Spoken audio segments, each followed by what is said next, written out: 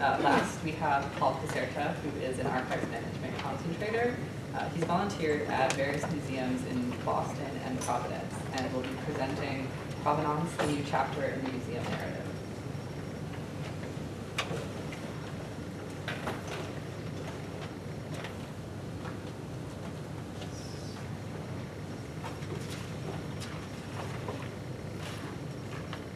Alright, and...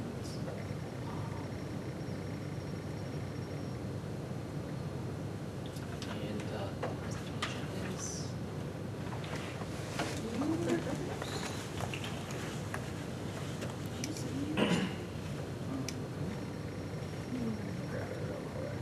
That's right, while she's doing that, I'll yeah, click on that. right there. Lovely. Um, well, while we're getting the presentation up, technical difficulties, um, this presentation, um, I originally did, uh, with a colleague of mine when I volunteered at the Museum of Fine Arts over the past year, uh, whose name is Victoria Reed, and she is the curator of provenance at the museum currently, uh, for the past, think, eight years now. And what you see ahead of you on the screen is um, plaques that are currently in different locations in the museum. And I didn't really know about these until just a year ago when I first started researching there. And I went on the tour that Victoria Reed gave, talking about provenance of collections. And at the time, she brought us to all of these paintings that were Dutch paintings owned by Jewish families at the time and that were taken during World War II and how many museums um, started an initiative of how to create uh, restitution for many objects that were stolen and how to get them back to their families. Um, so many things that you see coming out of that now are such movies as The Monuments Men, which not completely accurate, but it creates awareness. So with that, um,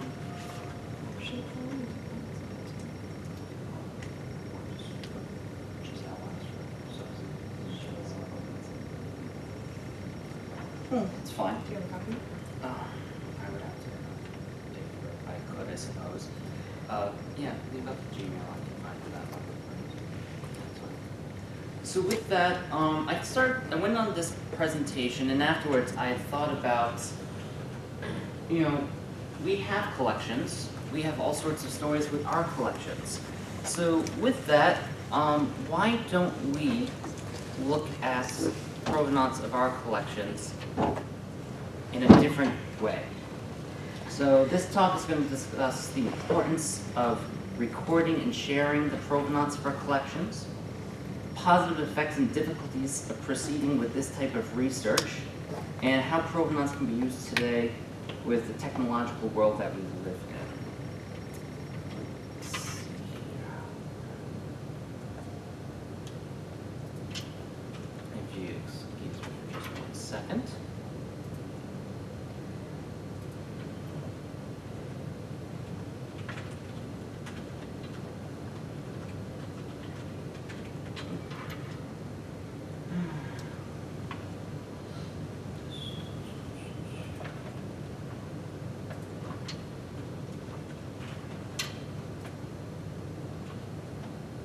I apologize for the wait.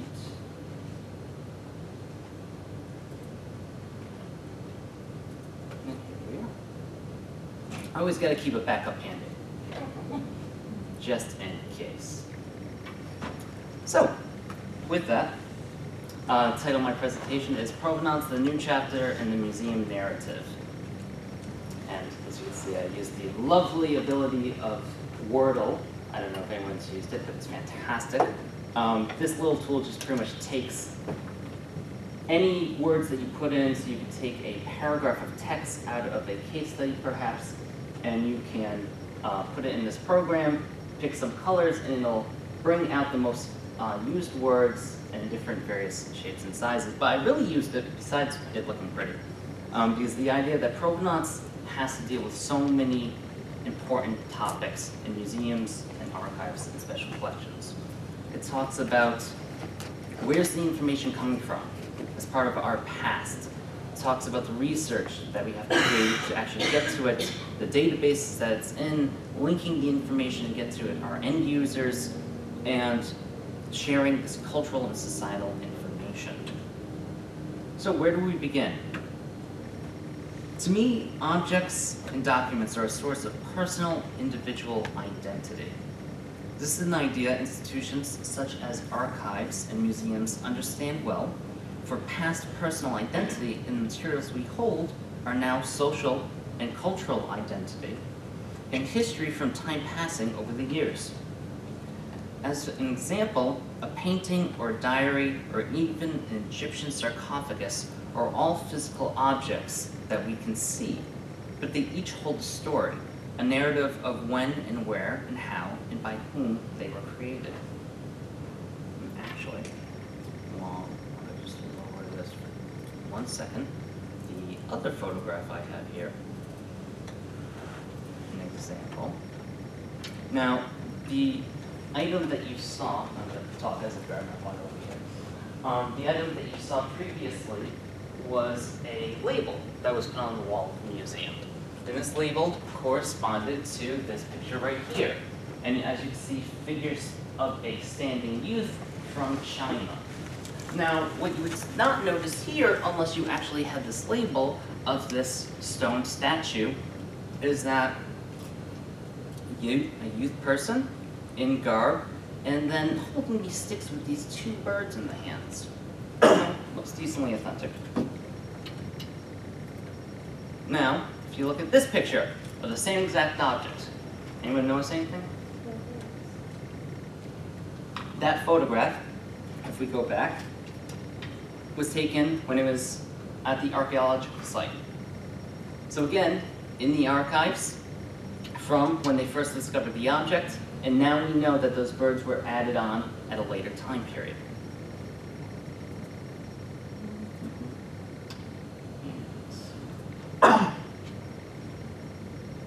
And when you look at the definitions that we currently have of provenance, it's fitting to think about looking at these objects. We have the definitions of provenance and provenance axis, which comes from our own glossary of, uh, I believe it's records, management, and archival terminology. I forget the complete title. Um, but we still don't know so many things about the origins and the custody of ownership of some of our records. Questions have been arising over the past decade or so too about how objects get from point A to point B. Who's owned it, as I've said, has the object changed over time, who actually owns the copyright to some of our materials and more. This information is important for archives and museums as a fundamental principle in order to identify, authenticate, and give our researchers and patrons more history behind what they physically see or touch. In a way, I see provenance as a living oral history, hearing of the past in a way not always perceived. So taking into account this idea in turn, it's not surprising that many archivists in past years have been historians, whose knowledge of time periods and the people associated with them is more concentrated and an understanding of story is somewhat more familiar. Today, with the growing requirements for more standards, preservation, and participation in a digital world, many archivists are trained in library information science programs and do not always have the opportunity to perform historical or cultural research. And this isn't to say that newly minted archivists, such as myself, aren't dedicated to our work, that we don't have an interest, but more so that our digital world has changed the priorities of archivists to the point where in-depth study of collections may need to just be put on the sidelines. And this was very interesting um, when I presented this recently at uh, NEA Spring Conference. Um, Professor Jeannette Bastian of the GSLIS department beforehand uh, had made a comment during her own uh, time of presentation where she had mentioned to a group of us how she feels like something in our field of archives currently has changed and that we are beginning to forget certain things that we used to do. She didn't really know what that was, but she said that, or why, but that she felt like there were certain things from when she started out that we were missing. Um, some like components to what it was originally like. So, in this digital time that we live in, in the environment where many users inside and outside of our institutions want more information online at a click of a button, the archival and museum communities have been urged to upload our collections for others to see in use in shorter time spans than the past years. So how do we continue to improve upon our services while also advancing ahead? My answer is to use the resources we already have and change our policies and procedures to include more provenance information. And this isn't, always as difficult as it sounds.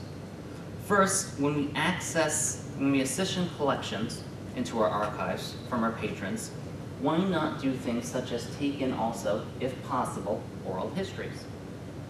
Information can be gathered in detail about who has owned the materials in the past, stories connected to items, why were objects created, and more. And more than anything, they might actually be very appreciative that we're doing this and donate more in the future.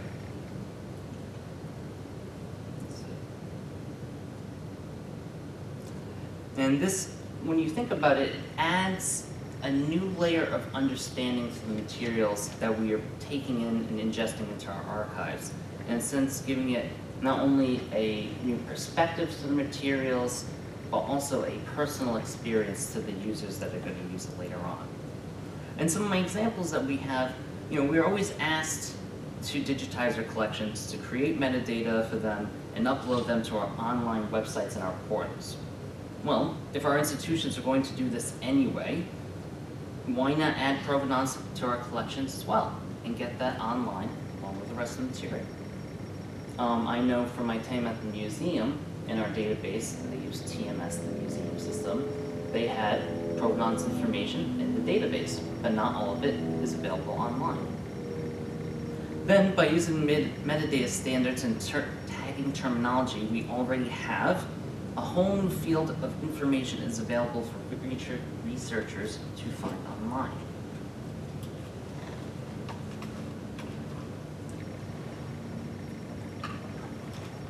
And we also ask ourselves in our daily activities as archivists, how can we expand our reach to our users and let them know we have this material?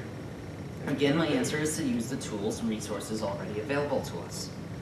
At times in our institutions, we have exhibitions of our collections which can be displayed both physically or in person, or on digitally online.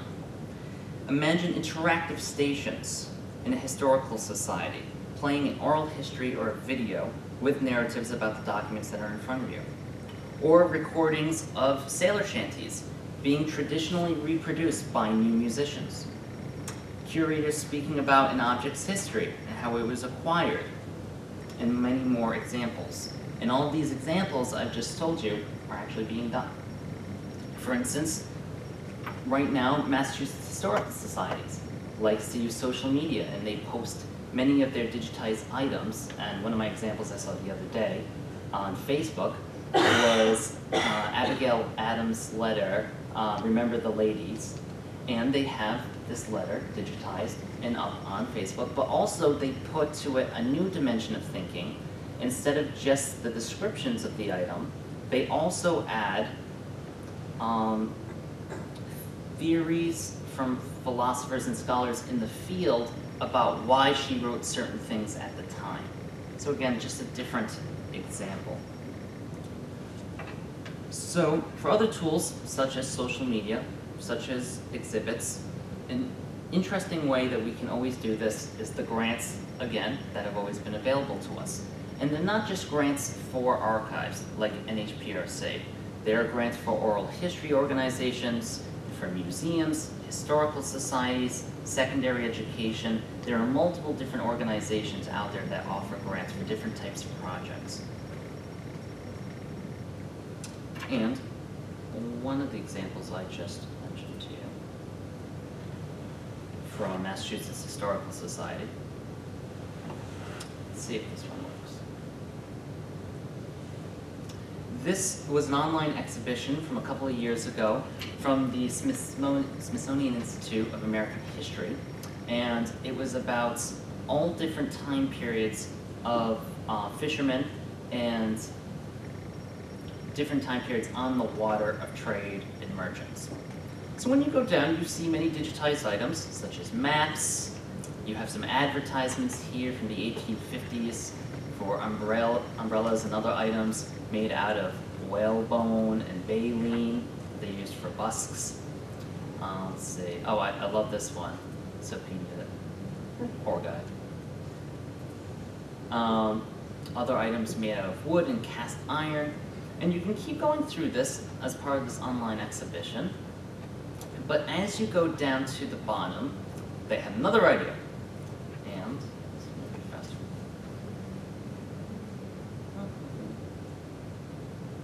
Well, it's an amazing scrimshaw, if anyone's ever been to the Warren Museum. They have songs, traditional sailor songs that were actually, you know, introduced. Once again, turn down the volume just to make sure. See how loud it gets when we first start. I'm gonna play you an example. A hundred years on the eastern shore. On the eastern shore. A hundred years ago. When I sailed across the sea. Oh, yes, oh. My oh. gal said she'd be true to me. A hundred years ago. As you can see, there are many more of those here on the site. So again, multiple interesting examples of how we can introduce almost a three-dimensional feel to our collections. Because when you think about it, even museums, why do we go to museums? We go to see an exhibition, and we walk in a room, and we open up sometimes those specially sealed section doors, and you see the giant text panel on the wall, and possibly paintings or other objects that we're looking at, and it gives us that experience, that little daily lesson of history and learning of different areas, peoples, and times that we just don't know of. So again, it's how do we give ourselves that experience? And another example I have of possibilities of what could be, very far reaching here, but when we have things such as ARTstor, the image library for the arts and sciences, it's very pretty. Uh, you can go through and you have to sign up um, just as a college or an, instructor or a researcher, you have to go through a process of actually signing up for the website. But there's no information really about the items versus basic history. What if people who donated these images actually gave just a little bit of history too, instead of just having it as an image portal for us to find things for the classroom? I mean, one person can make an argument that we already have Google. You know, and although not everything is on Google, Google is not God, unlike some people think. Um, it is an idea for the future. And of course, the benefits of adding more provenance information would be to advance scholarly research. I like to think about institutions such as the MFA or the Met, possibly if they had more information for individuals out there, all individuals, it would also benefit smaller institutions that don't have a possibility to actually put their collections up online if they need help authenticating objects or need help doing more research about the objects they have. And it gives great educational opportunities. And of course, the difficulties. There's always the resource difficulty of staff, finances, and other things. Um, there's the difficulty of people not wanting to change traditions, especially in museums. You have many curators, uh, the MFA, who actually didn't even want to put the signs up that I showed you in their galleries. They thought it was an intrusion among the arts in their collections. And sometimes people don't like to give up records and don't want to give up information. And when giving up information, also donor relations. Um, there are a lot of donors out there who donate their collections but will say, oh, please, please don't include that information. And we're not saying, you know, confidential information like social security numbers exactly, um, but sometimes there are difficulties along the path. And with that, um, what I can say is that I hope that over time, more historical research is done in archives towards provenance, towards the collections. I just think, in a very general sense, that it increases what we're trying to do in the first place, which is to give not only these objects to our users, but what the objects are about, the narratives about these objects, and I think it will only um, increase the possibilities of what we can learn. Thank you.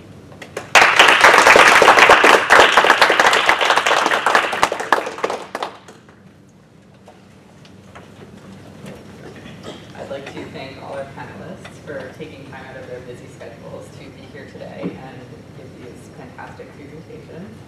Um, and now I'd like to open the floor to questions for our panelists.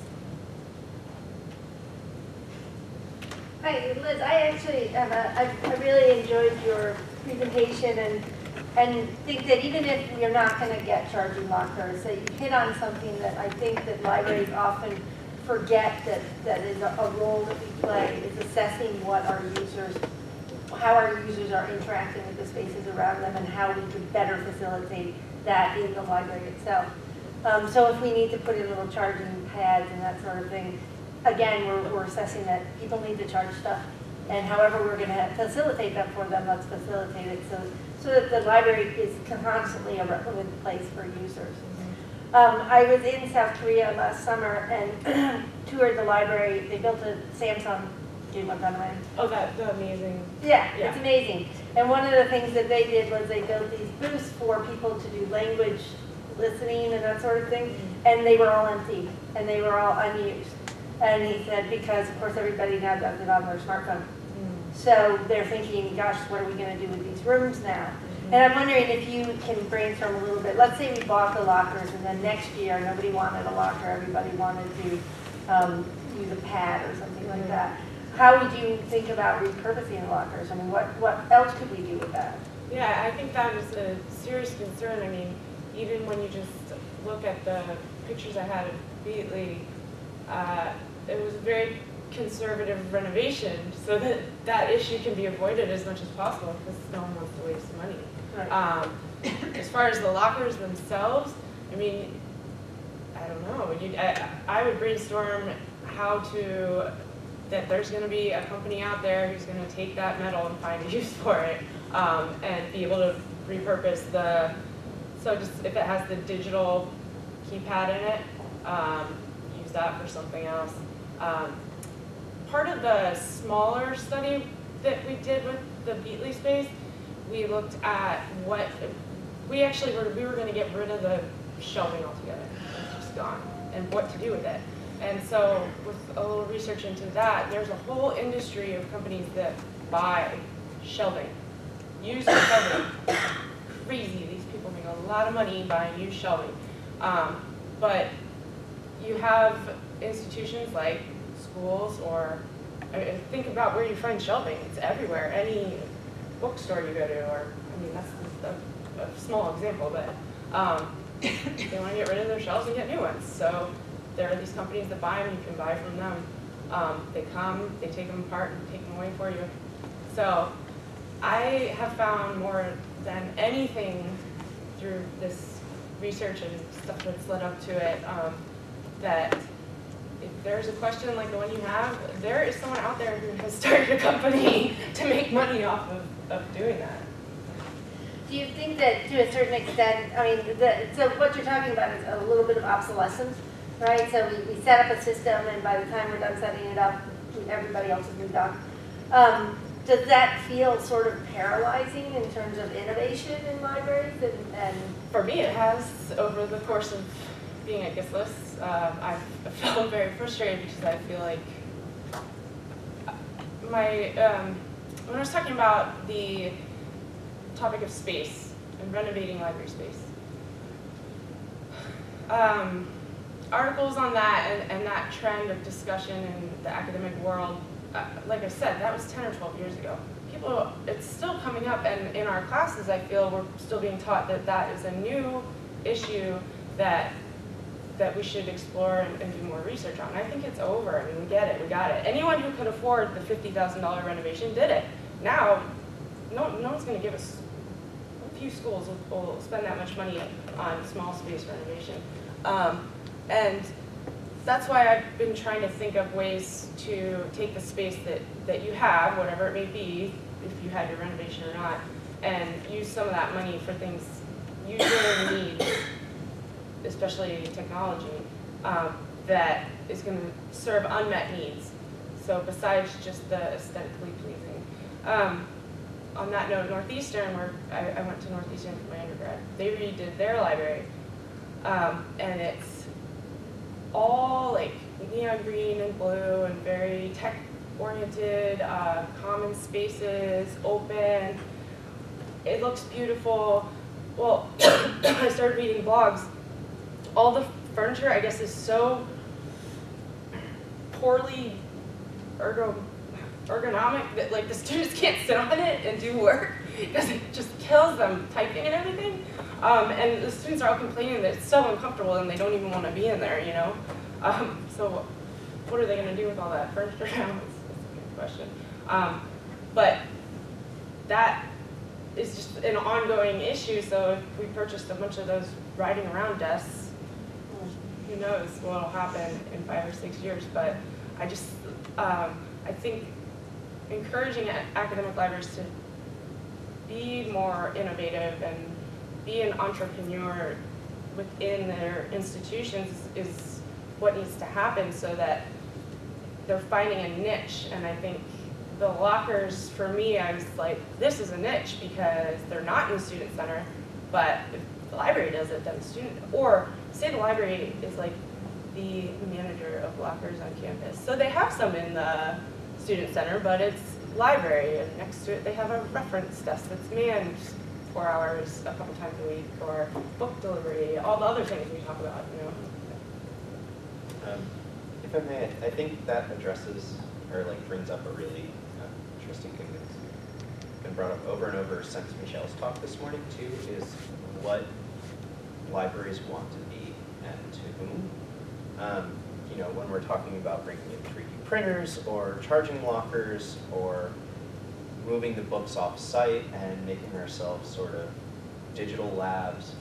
Um, I know when I was an undergrad at the University of Florida, the big thing was that they brought in a bunch of big plotter printers from the GIS folks so that people could print out big, big, like posters in the library. Um, and there's all kinds of cool artistic things you can do with those because they're not very high resolution, whatever. But um, I don't know, it's gonna require a lot of self-reflection, I think, to figure out, as a community and at each individual like institution, to figure out what we wanna be, because we don't have the resources to do everything. And, yeah, well, and, and even just more pragmatically, I mean, if each of these are three thousand dollars, um, and the library has a limited budget, do we want to sink nearly twenty thousand dollars getting six of these? Or should we be spending that on periodical subscriptions, or some sort of digital project, or, um, and I don't know, there's not a simple answer to that. Well, and I think your point also speaks to both your presentation and, and what Paul was talking about, potential enhancements. Not only do we have to figure out what, what we want our physical library to be, we also have to figure out what we want our digital library to be.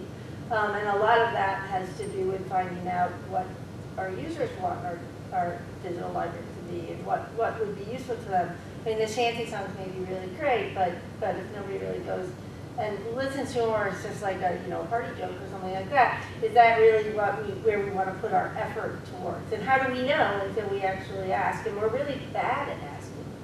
Um, we, and we, we keep saying, you know, we should ask, and then we never do it. Um, so, so, wow, I- we just tied it all together there. Did you see that?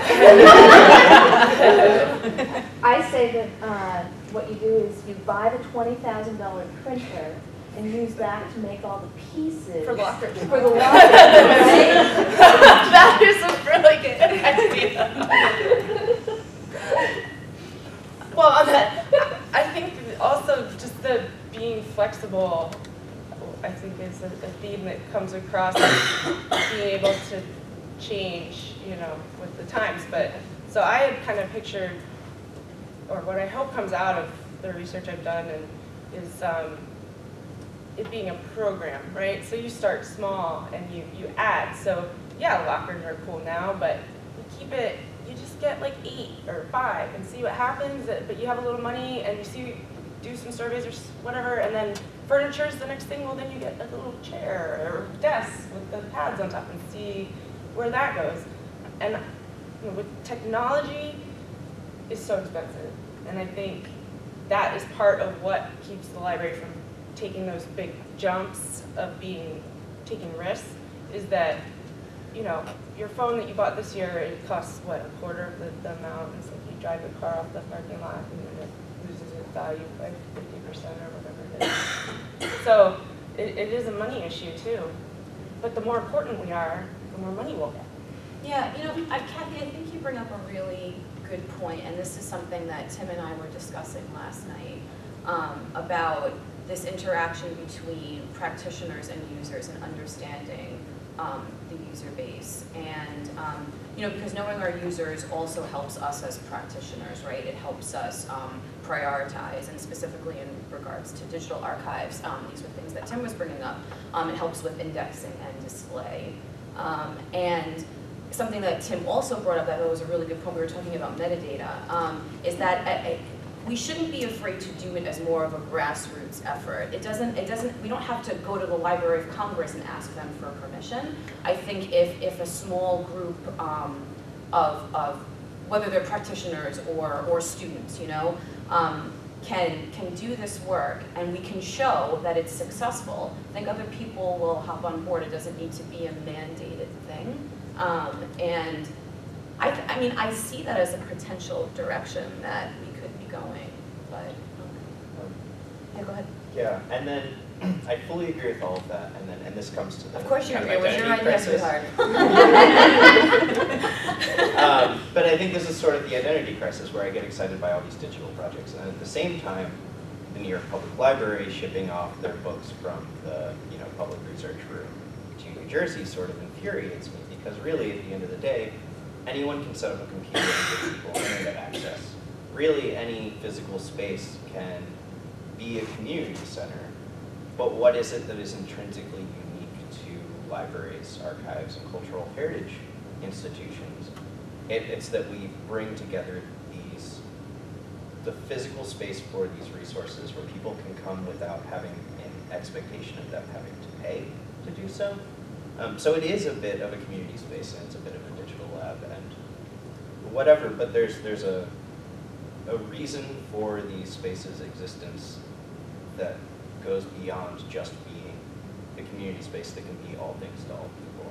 And I think we'd be wise not to forget that. I don't know what that means in practice, but. I think if it, the library is a, maybe the identity is, is more of an information hub, you know? So whatever way people are absorbing, using, distributing information, it's gonna keep changing and the library is, should be a place for that experiment and for doing that. So there's something beyond just people getting together in a, in a common place that's- Right. that happens in, in the library information space. Right, and that people getting together to do these sorts of things happens in all like kinds of places that we don't call libraries. So what is it that makes this kind of uniquely library centric? Do you have a question? Uh, actually, um, I was wondering, uh, Professor br- brought up the use of social media. Has there ever been the idea to ask these questions over social media instead of like to other museums as well? I'm just wondering, would that help? Or is social media not really reliable? For, for the archives or for? You mean in Um, terms of like a survey method? Yeah, survey being a method only used through Um, social media. Well, surely like the blogosphere has a large presence, and unlike, unlike social media like Twitter, where you're in a very contained Right. space, um, you can, you can explain your methods, you can um, provide links to surveys. And I, Matt, I don't follow it too closely, but I follow it relatively, um, that the, that the library archives museum blogosphere, they are, I mean, like, the- these, these are dialogues that are being, that are happening, that are occurring. Um, so sure, I, I think that there is. Yeah. Although I would, I would argue that their dialogues that are happening between librarians, archivists, and, and museum folks, and we're not actually talking to folks on the Green Line. Um, to Yeah. find out what they think about what makes a library a library and what makes it special and that sort of thing. And that's, that's who we're, that's who we need to tap into. And Yeah, the funny users thing, are very rarely ever involved in the conversation.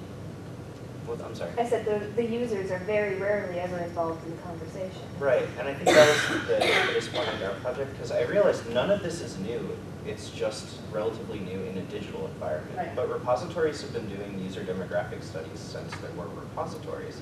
I mean, it's very rare that you can go into an archives without them giving you some sort of patron information form that you fill out. But we don't have the same expectation for digital projects. Um, and actually, one article that I read, uh, the Leaders Project in the UK, which was the National Archives, the Wellcome Library, a couple others, did this sort of user demographic study, but they did it of their physical repositories to determine what their digital projects should be. Uh, this was in the 90s when they were still trying to figure out what they should do in a digital area. But I thought it was interesting that they thought that this user demographic information was important, but then once they actually had their digital projects up, didn't think it was important enough to do in the environment that they were actually thinking about and developing. They just assumed that it would be, well, either they assumed that it would be the same types of people, or, you know, priorities just went elsewhere. We all have limited staff, limited money, limited time. But That's like the question about why the lockers aren't more um, popular with students. Well, I can tell you some of those answers because I go on the blogs and I see them talking about it, you know? And it's, you know, the management of how it's distributed, it's, total chaos, like trying to get one, year-long waiting list, stuff like that. So there's, the, this, the users are, are talking about this on sort of a social media conversation. And I think as researchers or when we're doing research, that that is um, valid data. I mean, that is, I can't, it, it becomes harder to quantify and stuff than giving a survey link. But I feel like I know a lot about what the users' opinions are from them expressing them in these sort of informal discussions. I want to understand something about the lockers. Yeah. Um, so are these things that you, like in amusement parks where um, any person can go and grab a locker and put stuff in and walk away with the key and come back? Or is it something that you sign up for well in advance and you have it for this semester long? Yeah. Um, because if that was the case, then I can see why it would be as popular because it's limited I access. saw, I've seen both. So I think a lot of it is just like a first come, first serve ad hoc basis. So if you find an open one, you, you can take it. Um, but I know some of the schools, especially the heavy research universities, the big ones, Wisconsin, something like that, they have a lot more privileges for their grad students and that there will be waiting lists for grad students who want one of these lockers.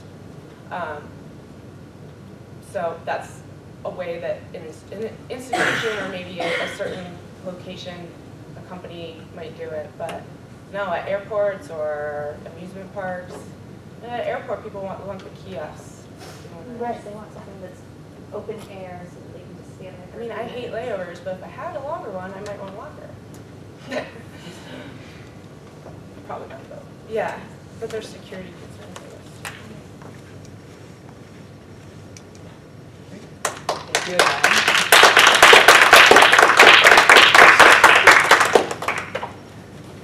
All right, well, first of all, I want to say thank you again to our panelists for all of your wonderful presentations. Can we give them another round of applause? And I want to thank all of you for coming today. It wouldn't be a success without the people here to ask the questions for these wonderful panelists. So thank all of you. So round of applause for all of you. Thank you for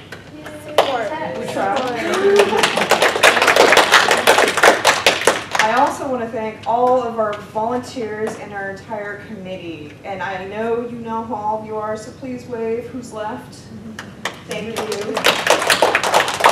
I know we're all very tired, and so thank you again for coming to our symposium. And I want to throw it over to Kathy, Um, yeah, I'm, no, thank you.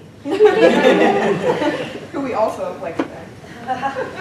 Um, so this is the third year that we've done this symposium and, and actually third year that I've kind of been faculty liaison for, mostly because it grew out of SCOSA and, and so.